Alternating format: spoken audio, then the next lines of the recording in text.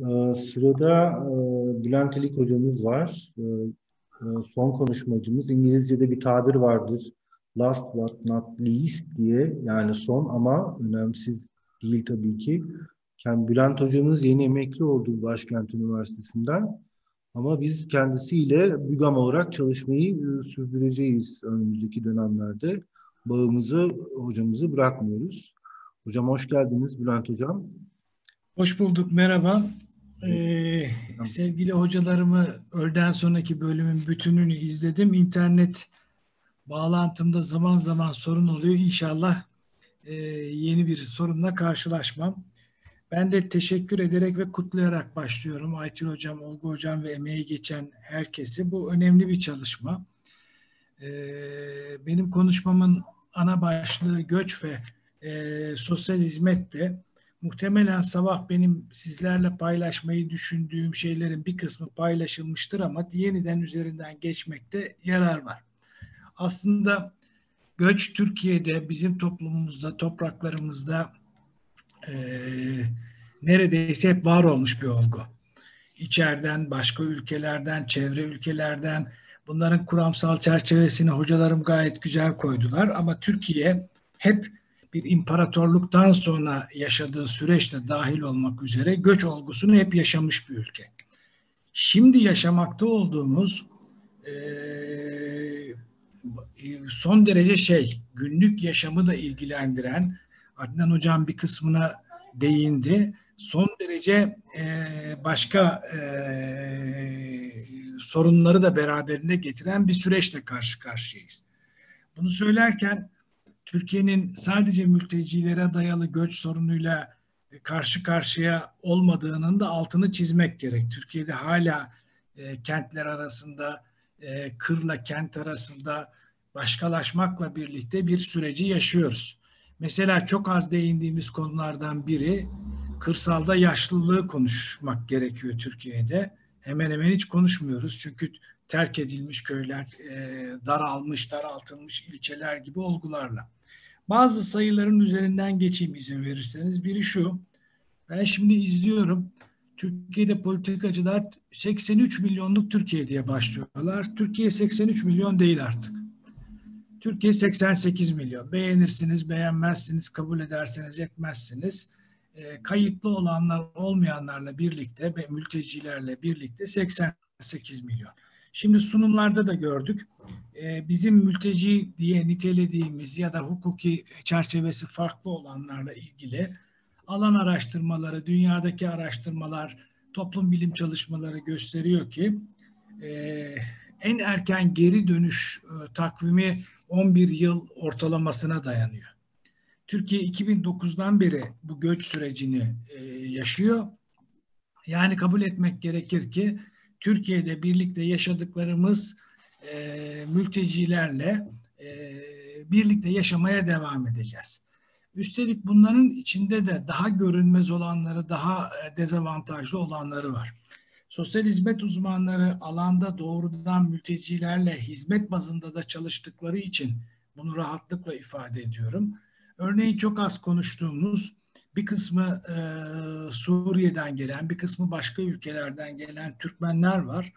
Alan araştırmaları gösteriyor ki e, özellikle Türkmenler Afgan kökenlerinin yaşam koşulları ve kaliteleri itibariyle sorunlar hiç az değil, mülteciler içinde bile daha sorunlu olarak görünüyorlar. Sayısal olarak çok olmadıkları için belki de çok görünmüyorlar. Arap kökenliler var. Onlar büyük ölçüde bizim Arap kökenli yurttaşlarımızın olduğu yerlerdiler ama Türkiye'nin her yerindeler artık. Haritayla ilgili hocalarım gösterdiler ama ilk e, bulundukları yer oydu. Şimdi durum şu. E, 5 milyona yakın kayıtlı, kayıtlı olmayan mülteciden bahsediyoruz. Bunların 1.7 milyonu çocuk demin e, Adnan hocamın sayılarında da vardı. Bu 1.7 milyon çocuğun içinde yaklaşık olarak 473 bin ki arttığını zannediyorum Türkiye'de doğan. Yani neredeyse ikinci kuşaktan e, söz etmemiz gerekiyor. Türkiye'de doğanlar 2009'da doğmuşsa 11 yaşında olanlar var. Çok yoğun bir çocuk nüfusu var. Bu çocuk nüfusuyla ilgili en başta eğitim olmak üzere, çocuk işçiliği olmak üzere, yoksulluğun çeşitli yönleriyle örtüşen e, sorunlar var. Çocuklarla ilgili çok yoğun sorunlar var ve alanda karşımıza çıkıyor. Kadınlarla ilgili çok yoğun sorunlar var. Bu sorunların bir bölümü kadının e, toplumsal cinsiyete dayalı ayrımcılığa uğraması ve kültürlerinde kaynaklanan sorunlar var karşımızda. Üstelik bu sorunların bir kısmında da e, ben bunu sizinle gözlemsel olarak söylüyorum. Türkiye insani yardım hizmetlerini, sosyal hizmetleri ve diğer hizmetleri planlayarak yürütmüyor. Tam tersine sorun ortaya çıktıkça çözmeye çalışarak e, bu süreci yürütmeye çalışıyor. Hala da öyle. Örneğin eğitim sorunlarını konuşuyoruz. Gelen öneriler arasında e, hiç şu öne çıkmıyor. Okul öncesinden başlayarak çocukların dil öğrenimini teşvik edecek, okula hazırlayacak bir programlaması yok Türkiye'nin. Yaygın bir programlaması yok. Sivil toplumun e, bence e, önemli, saygıdeğer ama sembolik düzeyde kalacak çabası ve kısmi çabaların dışında bir program haline dönüşmüş bir çalışma yok. Bakın bugün itibariyle söylüyorum. Örneğin İstanbul'da İstanbul'a yeni kayıt alınamadığı için eğitim hakkına erişemeyen çok sayıda çocuk var. Çünkü kayıt alınmıyor. E nasıl çözeceksiniz bunu? Geri gitmeyecekler. Başka kentlere gitmiyorlar. İstanbul'da okula kaydetmiyorsunuz. Yani biraz mış gibi yaparak e, parça parça çözülüyor. Bunları söylerken de şöyle bir kolaycı yola sapmak istemiyorum. Efendim öğretmenler okullar sorun. Hayır öğretmenler okullar değil. Pek çok öğretmen, pek çok okul e, yönetici, il, ilçe düzeyinde gayret gösteriyorlar ama onların zaten sorunları var. E, çok önemli sorunları var. Yine anımsatmak isterim. E, bunları doğru zeminde tartışabilmemiz açısından önemli. Türkiye mültecilerle birlikte bir başka sorunu katlayarak sürdürüyor. Bunun üzerine bir de salgın hastalıkla e, biriken sorunlar eklendiği zaman karşımıza çok yeni, potansiyel olarak da çok daha sorunlu alanların çıkacağını ifade etmeliyim. Özetle şunu söylemek istiyorum. Türkiye yapısal sorunları olan bir ülke. Bu yapısal sorunların başında yoksulluk geliyor. E, sayısal olarak ifade edeyim. Resmi, devletin resmi rakamlarına göre 14 milyona yakın kendi yoksulu olan bir ülkeden söz ediyoruz. Siz bunun üzerine kısmen sosyal yardımlarla de, e, desteklediğiniz büyük ölçüde marjinal, kayıt dışı olarak çalışan önemlice bir bölümü mültecileri eklediğiniz zaman karşınızda çok önemli sosyal yardıma bağımlı bir kitleyle karşı karşıyasınız. Hem Türkiye Cumhuriyeti vatandaşları açısından bunu söylüyorum hem mülteciler açısından söylüyorum. Bu kadar derinleşen yoksulluğun beraberinde çok yönlü sorunları getireceğini kabul etmek gerekir. Yoksulluk neleri beslerse bireysel ya da toplumsal anlamda, patolojik anlamda onu beslemeye devam edecektir ve devam ediyor. Bir başka önemli sorun yine bir sistem, bir programla yürütmediğimiz kadına, çocuklara ağırlıklı olarak daha dezavantajlı olarak olanlara yönelik etkin bir koruma programımız yok. Burada değerli akademisyenlerin ağırlıkta olduğunu biliyorum, toplum bilimcilerin ağırlıkta olduğunu biliyorum. Bir, bir birkaç küçük örnek söyleyeyim. Çocuk evliliği bir sorun, bizim de kendi sorunumuz. Ama mültecilerde görünen o ki daha yoğun bir sorun. Çok ilginç bir biçimde Türkiye'de bazı e, yargı kararlarında bile bunu kültürel nedenlere bağlayarak soruşturma konusu bile yapmayan kararlar var. Şimdi bunun tartışılmasına bile gerek yok. Kabul edilebilir hiçbir yanı olmadığını ifade etmek e, istiyorum. Ama böyle bir gerçek var. Çocuk anne olgusu var ya da etkin mücadele yok. E, etkin mücadele olmayınca bu birlikte yaşamak kültürünü, e, toplumda birlikte gelişme kültürünü nasıl inşa edeceğimiz sorusu ve sorunu önemli bir e, problem problematik teşkil ediyor. Bir başka şeyin altını çizmek istiyorum. Şimdi biz zaman zaman e, politikacılar işte Suriye'deki şu gelişmeye dayalı olarak şu kadar insanın geri döneceğini söylüyorlar. Mesela anımsayın e, en yakın tarihte işte Afrin işi çözülürse e, önce 2 milyondu. Bir hafta sonra revize edildi. 1 milyon kişi dönecek dedik. Ben şimdi buradan e, bilim insanlarımıza da, e, sevgili meslektaşlarıma da, toplum bilimcilere de şunu anlatmak istiyor, hatırlatmak istiyorum. Bu konuda elimizde yeterli ve ciddi alan araştırması yok. Dönmek isteyen kaç kişi var biz bunu bilmiyoruz. Döneceksiniz deyince kimsenin dönmeyeceğini, zorla da döndüremeyeceğimizi hem hukuk açısından hem insani açıdan kabul etmek gerekir. Bir başka şey söyleyeyim, ilginç. Ee, ben sivil toplumun içindeki çalışmalarda da buna dikkat çekmeye başlıyorum. Şimdi biz mültecileri bir geniş grup olarak alıyoruz ama onların kendi içindeki bazı özellikleri araştırmıyoruz. Örneğin şimdi sevgili hocam Altındağ anlattı. Halep'ten geldiler e, büyük çoğunluğu dedi. Doğru. Halep dediğiniz kent dünyanın kültür mirası muhteşem kentlerinden biriydi. İçinde çok farklı sanatlar, e, şeyler yaşıyordu. Yok şimdi o Halep. Şimdi bu gelen mülteciler e, Türkiye'de ne iş yapıyorlar, e, iş güç çeşitleri ne, ne iş yapabilirler? Bulunabilmiş sivil toplumun bulduğu en parlak öneriyi söyleyeyim. Bunları yanlış anlamayın bir eleştirel anlamda söylemiyorum. Bir gayret var ama hep şey yola çıktıktan sonra çiziyoruz. Şimdi sivil toplumun keşfettiği yeni kavram fiyakalıda bir kavram gastro diplomasi diyorlar. Gastro diplomasi dedikleri en kolay kadınları geleneksel toplumsal cinsiyet rolleriyle örtüşen mutfak hizmetleriyle ilgili. Bunun iyi ama tekil örnekleri var. İşte bir tane bir yerde, iki tane bir yerde, üç tane. Bunu nasıl geliştireceğiz? Hangi iş kollarıyla ilgili, hangi sektörlerle ilgili insan gücü planlaması yapacağız? Bunları yapmadığınız zaman karşınızda toplumdan pay isteyen, haklı olarak pay isteyen, kabul ettiğinize göre bunu tartışma lüksünüz yok. Ama o payı alabilmek için de donanım açısından niteliklerini yeterince bilmediğiniz. Bunun altını özellikle çiziyorum. Mesela ne iş güç yapıyorlardı? Çiftçilik yapan kaç kişi vardı? İş, e, sanatkar kaç kişi vardı? Zena Halep'i şunun için söyledim. Ahşap oymacılığı Sedef'te dünya merkeziydi. Türkiye'den gidip oradan insanlar belli şeyler. Ne oldu o insanlar bilmiyoruz. Bunları planlamak gerekiyor. Bunları planlamazsanız o zaman toplum içinde birlikte yaşamaya devam edeceksiniz. Her insan sosyal hizmetlerde benim en sevdiğim tanımlardan biri her insan kendi hayatının uzmanıdır. Bu uzmanlık biçimini sevmeyebilirsiniz ama olduğu koşulda insanlar eğer başka patolojileri yoksa ona uygun olarak davranış kalıplarını geliştirir, uyum sağlarlar ve yaşamaya devam ederler. Bu ama toplumun bütünü, geleceği açısından, birlikte yaşama kültürü açısından ne ifade ederi düşünmek ve sorgulamak gerek. Bunu nasıl değiştireceğiz? Nasıl dönüştüreceğiz? Ee, şöyle sembolik e, yaklaşımlarımız var. Bizim kendi göç olgumuzda da.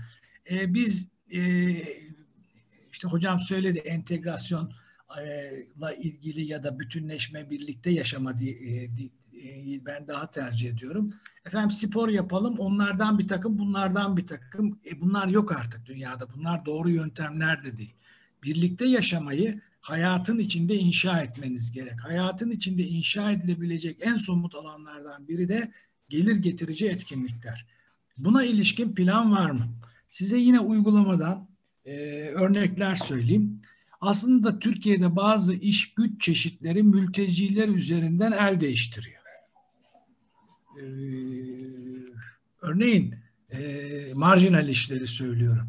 Ankara'da e, çöp ayrıştırma ve toplama işlerinde bir yeni grup var, bölgeleri var ve o bölgeye birilerini sokmuyorlar. Ama ilginç daha önce o işi yapanlar da başları göğe ermiş değil, onlar onları çalıştırarak yapıyorlar. Biz 2009 yılında ilk kez Fatsa'da mevsimlik tarımda e, mülteci işçilerle karşılaşmıştık.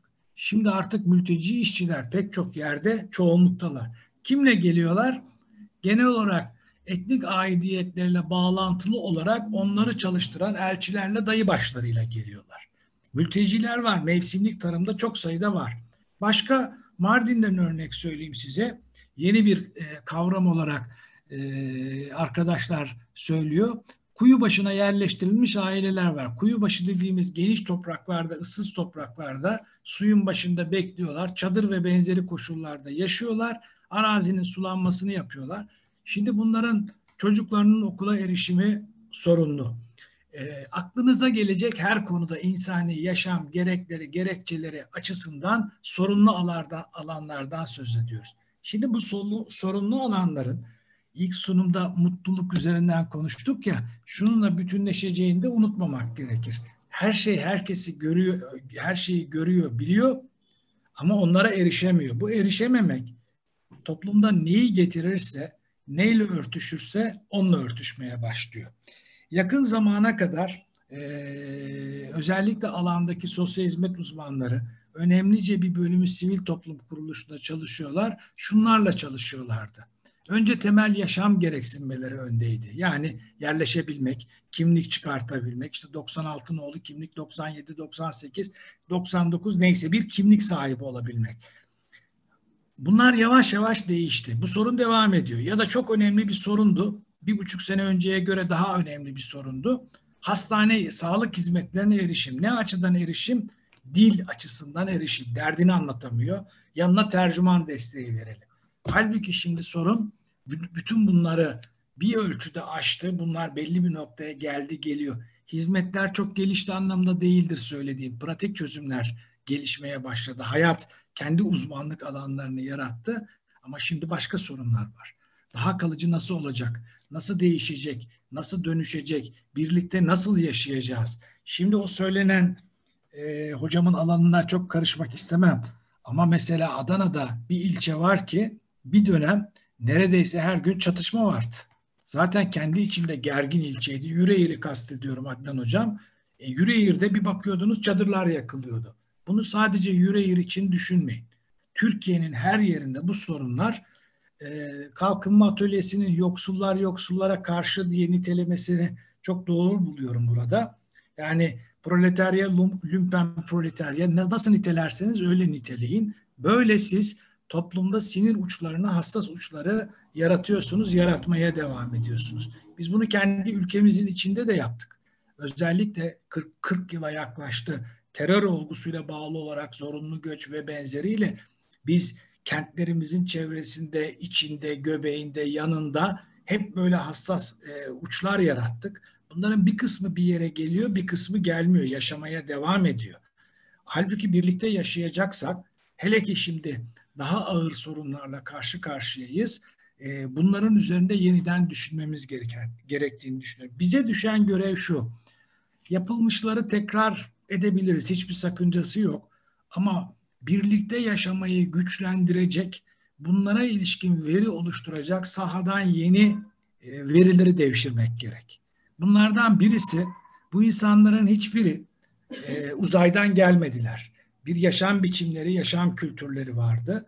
O yaşam biçimleri ve yaşam kültürleriyle bağlantılı olarak o birikimlerin üzerine ne inşa edebiliriz? iş güç çeşitleri açısından ne inşa edebiliriz? Aile yaşantıları üzerinden ne inşa edebiliriz? Ya da kamu kurumları mış gibi yapmamalı. Kendisine gelen şeyleri bu Suriyelidir, öbürü bilmem e, değildir diye bakmamalı. Bir çocuk evliliği olgusunda ne yapması gerekiyorsa onu yapmalı. Kadına yönelik e, bir ayrımcılıkta, şiddette, e, eziyette ne yapması gerekiyorsa e, onları yapmalı. E, yani e var efendim bunların hayır böyle bir şey yok. E, Almanya böyle bir şey söylüyor mu? Kanada böyle bir şey söylüyor mu? Bir son veriyi onu da söyleyeyim. Arkadaşlarımızın, e, meslektaşlarımın çalıştığı önemli kurumlardan biri de göç idaresi. Özellikle bu üçüncü ülke transferleriyle çalışıyorlar. E, bir kere kabul etmek gerekir ki Türkiye dünyada en çok mülteciye e, ev sahipliği yapan ve birlikte yaşayan ülke savaş öncesi Suriye nüfusunun beşte biri Türkiye'de. Ee, resmi rakamlarla biz 40 milyar dolar harcandı, harcadık deniyor. Bunun içinde diye pek çok harcama yok. Örneğin biz 5 milyona yakın Türkiye'de mülteci var. 1 milyona yakın da Suriye'nin içinde bütün gereksinmelerini karşılamaya devam ettiğimiz bir nüfus var. Türkiye'nin ekonomisi ve gücü bunu nereye kadar ve e, nasıl taşır onu bilmiyorum. Ama bu en azından içeride pek çok çatışmayı daha körükleyecek, bunun üzerinden daha radikal akımları, daha ırkçı akımları ve söylemleri güçlendirecek bir noktadır. Bu üstelik çok sorunlu ve sıkıntılı bir noktadır. Ben DAEŞ'e bakarken hep şunu görüyordum. DAEŞ'e en yüksek katılımın olduğu yerlerden biri Paris'in banyoları. Yani o muhteşem hayal şehir. Bizim Magreb ülkeleri dediğimiz ülkelerden oraya gitmiş ikinci kuşak, üçüncü kuşak insanlar dünyanın en radikal, en acımasız örgütlerinden birine katılıyorlar. Hangi mutsuzluk bunu besliyor? Hangi yetmezlik bunu besliyor? Türkiye açısından da düşünmek gerekir. Bunun çok kritik bir odak olduğunun altını çizmek istiyorum. E herkes çok yoruldu. Ben de daha fazla konuşmayayım isterseniz. Burada bırakayım. Teşekkür ederim. Biz teşekkür ediyoruz Bülent hocamıza. Sağ olun hocam. İleride de konuşmaya devam edeceğiz tabii ki bu konuları.